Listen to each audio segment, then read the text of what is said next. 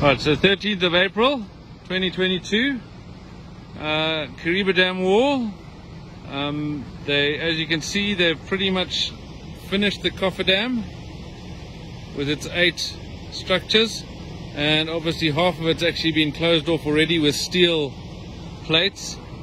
Uh, then they'll close off the rest, and they will start to drain this whole area below us.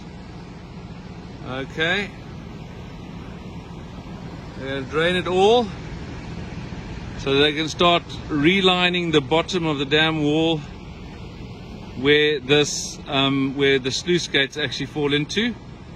Um, so rumor has it that pumping out will start uh, sometime next month, so April, May, probably end of May. And then if you look back, they're also redoing the um, uh, sluice gates as well.